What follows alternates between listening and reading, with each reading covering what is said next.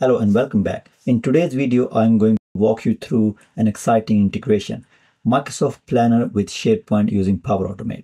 We will set up a flow to automatically create a task in Planner whenever new documents are uploaded or edited, and then we will assign the task to some relevant people and update the task detail as well. I'm in a SharePoint site. I have a Project X document library.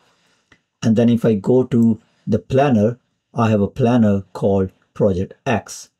Now we need to make sure when someone upload a document or make a change to a document in this library, it will automatically create a task in Planner with all the details. Now to achieve that, we need to navigate to make.powerautomate.com and from the left hand menu, we need to click on create. I will select an automated cloud flow because the trigger is going to be when a file is uploaded or modified in a document library. So I will select automated cloud flow. I will give this flow a name. I will say create planner task for project X. I will search for the right trigger and the trigger I'm going to use is when a file is created or modified properties only because we need to retrieve the properties so we can create a planner task with the title and the URL of the file. I will select that and click on create.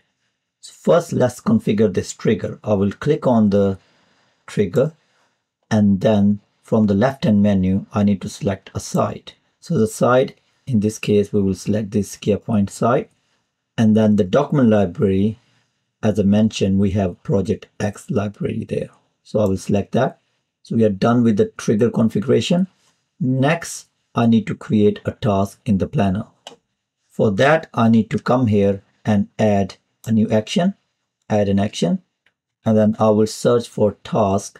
And then you can see all the planner task action here. If I click on see more, you can see all the planner task action we can use inside Power Automate. So I will select the first one, create a task.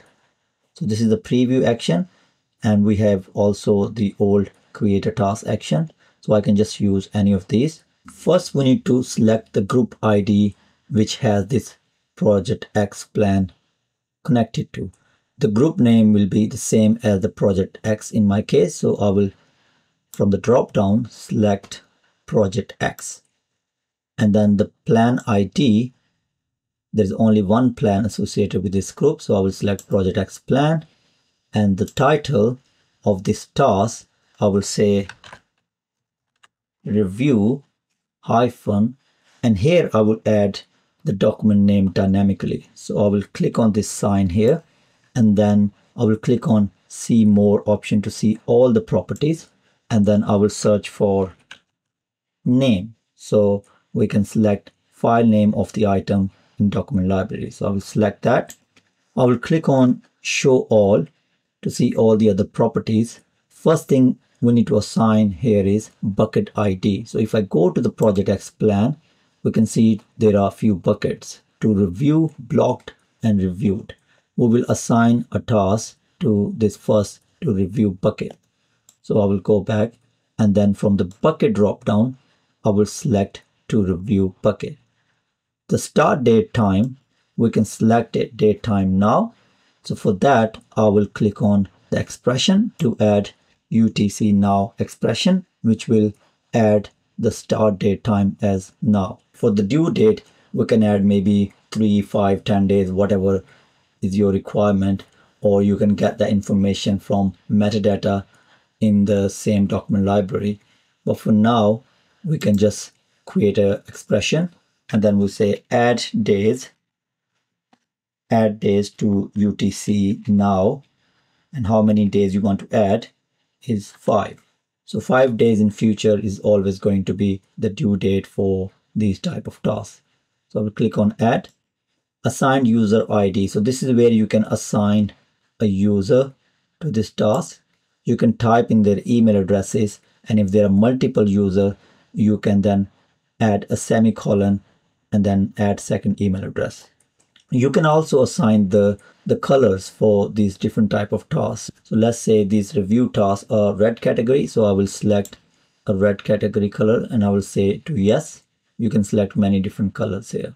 Okay, so we are done with create a task action. Next, we need to add update task detail action because we need to add link to this document inside the planner task.